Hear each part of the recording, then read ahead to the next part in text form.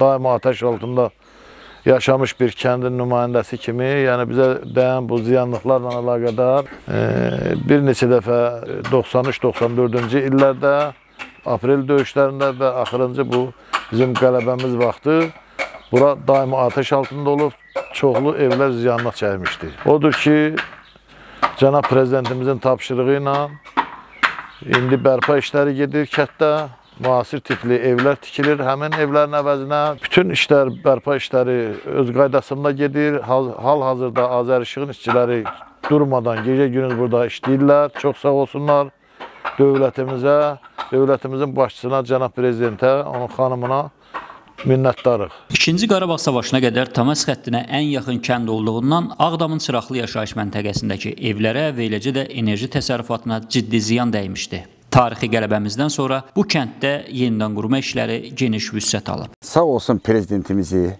ordumuzu, dövlətimizi müharibə yolu ilə dövlətimizi, torpaqlarımızı azad elədilər. Mənfur ermənilər buradan qovdular. İndi sərbəst təsərrüfatda iş görürük. Dağılmış evləri bərpa edirlər. Dağılmış evlərə işıq çəkirlər, yeni işıq xəttləri çəkirlər bütün dirəklər hamısı dəyişdirilir. Qısa müddətdə bu başa çatıbdır. Vətən müharibəsi zamanı Ağdam rayon Çıraqlı kəndinə çoxlu sayda top və qırat mərmiləri atılmışdır ki, bu da fərdi yaşayış evlərinə o cümlədən 10 oldur kiloluq elektrik təsərrüfatına ciddi ziyan vurmuşdu.